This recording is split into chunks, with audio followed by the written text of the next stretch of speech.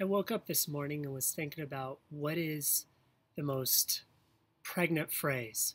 What is the greatest theological paradox? What drives some to lean in and others to push away? And I think that it's the term, the phrase, God cares.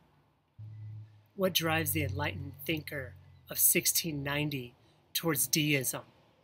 For the honest science knows there is intelligence, but doesn't want the accountability. God cares. What drives the psychologist in 1990 towards existentialism?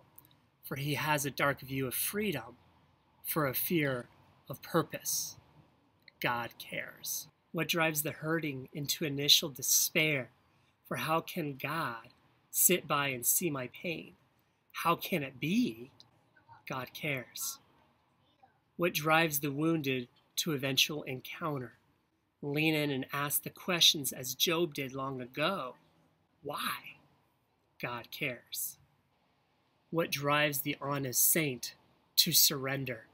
Since there is a God who is God of all, and he judges all, the actions, great and small. What a terror. God cares what drives the sons of God to humility, where we are not God. No human effort will work through the struggles of life, for He alone is the Redeemer. So much grace. God cares. So, my question to you is what does the term God cares mean to you?